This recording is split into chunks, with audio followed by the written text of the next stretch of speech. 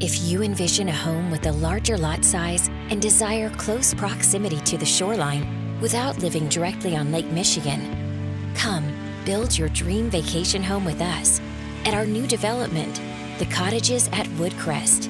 Nestled between Lake Michigan and local blueberry growers, the Cottages at Woodcrest offer a serene, quiet, gated private community, a beautifully wooded vista, and convenient access to the lakeshore through the Pilgrim Haven Natural Area and South Haven's world renowned beaches. You have a vision.